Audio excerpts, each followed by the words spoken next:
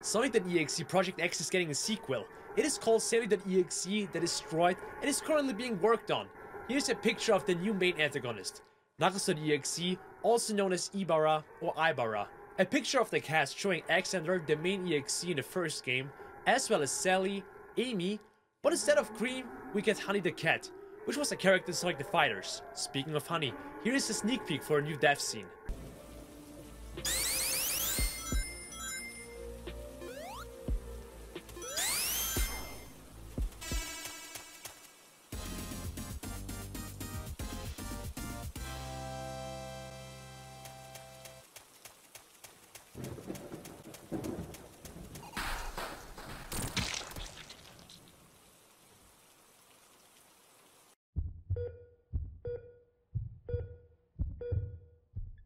So, are you looking forward to the game?